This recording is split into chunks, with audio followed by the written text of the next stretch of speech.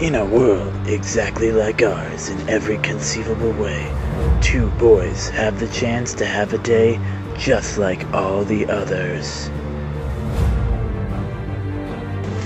Micah, I need you to collect the trash, get it all outside, and don't forget to cut apart the yard trash because tomorrow is trash day. What?